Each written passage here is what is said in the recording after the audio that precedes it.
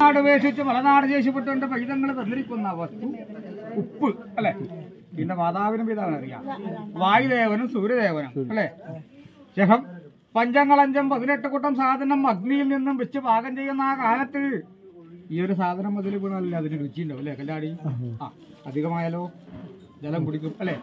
ഇതാണ് കല്ലുപ്പ് അല്ലെ പയ്യങ്ങളെ? ആ.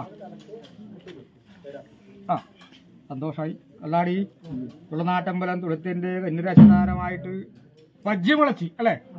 തുളനാട് ഉപേക്ഷിച്ച് വളനാട് ദേശപ്പെട്ടു എന്റെ പൈതങ്ങളെ തന്നിരിക്കുന്ന ആ വസ്തു പച്ചപ്പറങ്ങി അല്ലെ?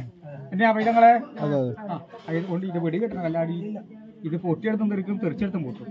അദ്ദേഹം എന്റെ തറവാടധാരമായിട്ട് ആരാനെതിരെയുണ്ടാ അല്ല ഉണ്ടെങ്കിലും ഒന്ന് പൊട്ടിച്ച് ചെലവാക്കിയാൽ മതി. അല്ലേ? എന്റെ കുറച്ചമ്മേന്ന് വിളിക്കും അല്ലെ? പറഞ്ഞു അല്ലെ? കല്ലാടി ആ എന്റെ പൈതങ്ങൾ ഇത് കഷ്ണം കൊണ്ട് അല്ലേ? ആ ആയതുകൊണ്ട് തറവാടധാരമായിട്ട് എന്റെ പൈതങ്ങൾ എനിക്ക് തന്നിരിക്കുന്ന അനുഭവം തന്നെയാണ്. ഇതൊന്ന് സാമ്പാർ തന്നെയാണ്? തന്നെയാ? അല്ലേ? ഇതിൽ അനേകം കഷ്ണങ്ങളൊക്കെ ഉണ്ട്. അല്ലേ കല്ലാടി?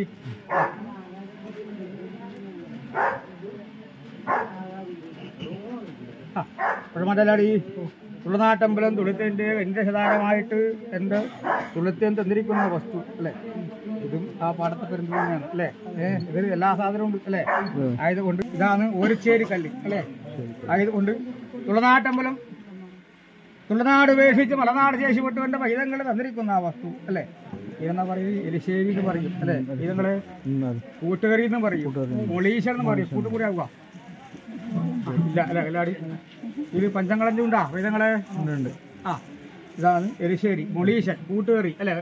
ആ എല്ലാം ഒന്ന് തന്നെയാണ് ഇത് കടന്നാൽ എന്താണ് വണ്ണ കിട്ടും അല്ലേ അതിന്റെ അനുഭവം തന്നെയാണ് അല്ലേ വൈദങ്ങളെ ഇരുന്നാൽ ചുക്കിച്ചൊളിഞ്ഞിട്ട് ബാക്കിയെല്ലാം കൊടുത്തു വൈദങ്ങളെ കരക്ക് തരുമ്പോ മാത്രമേ ഇങ്ങനെ ഇരിക്കട്ടെ കൂനും കുരുടെല്ലാം ഉണ്ട് അല്ലേ ആ ഇത് എന്തോ എങ്ങനെയാണ് ഈ പൂനം കുരുടൻ പേരിൽ കല്ലാടി ചൂടുള്ള തൈലത്തിൽ ഇത് വീണാലാണ് ഇതിങ്ങനെ ആവൽ. അല്ലേ? ആയതുകൊണ്ട് തുളനാട്ടമ്പലം തുളത്തിന്റെ കന്നിരാശധാരമായിട്ട് എന്റെ തുളത്തെന്തതിരിക്കുന്ന ആ വസ്തു അപ്പള. അല്ലേ കല്ലാടി? തുളനാട് ഉപേക്ഷിച്ച് മലനാട് ശേഷിപ്പെട്ടു. എന്റെ വൈദ്യങ്ങൾ തന്നിരിക്കുന്ന വസ്തു. എന്തൊരു വസ്തു ഇത് നിനക്ക്? പപ്പടം. അല്ലെ? എന്നാ ഇത് ഉള്ളിക്ക് ചൂളിക്ക് കേളിക്ക് കൊമ്പത്തേടിയാണ് കല്യാണ സദ്യയിൽ. അല്ലെ? കേമനോന്ന് അല്ലെ? പാചകത്തിൽ വീണ തവിട് പൊടി. ഇപ്പൊ പൊടിയാകുമോ കല്യാണി ഇല്ല അല്ല ഇത് പദം വന്നു അല്ലേ? ആ മഞ്ഞിന്റെ പദം വന്നു അല്ലെ കല്യാണി പപ്പടം അല്ലെ. ശരിയുണ്ടാവുള്ളത് കല്ലാടി? അല്ലെ? അന്നെന്ന് പറയും അല്ലെ കല്ലാടി? ആയതുകൊണ്ട് അന്നപൂർണേശ്വരിയായിട്ട് ഞാൻ ഇപ്പോഴും അവതാരം കൊണ്ടിട്ടുണ്ട് അല്ലേ? എവിടെയാണ് കല്ലാടി? ചെറുകുന്നിലാണ് അല്ലേ? ചെറുകുന്നിൽ ഇപ്പോഴും അന്നപൂർണേശ്വരി ആയിട്ട് ഞാൻ അവിടെ ഇങ്ങനെ ഇരിക്കുന്നു അല്ലേ? എപ്പോഴും ഏത് സമയത്തും ആര് വന്നാലും എവിടെ നിന്ന് വന്നാലും ഒരു നേരത്തെ അന്നത്തിന് അവിടെ ബുദ്ധിമുട്ടൊന്നുമില്ല. ഇല്ല കലാടി അതാണ് അന്നപൂർണേശ്വരി അദ്ദേഹം അന്നത്തെ നിന്നിച്ചാൽ ആയുസിന്റെ ബലം കുറയും എന്നാണ് അല്ലേ? നിന്നിക്കാറുണ്ടോ പൈതങ്ങളെ? ഉണ്ടോ? അന്നത്തെ നിന്നിക്കാറുണ്ടാ? നിന്നിക്കൽ? നില നിറച്ച് മേടിക്കും പോയത് തിന്ന് പോയതിച്ചാവും അല്ലേ? അങ്ങനെയുണ്ടാ?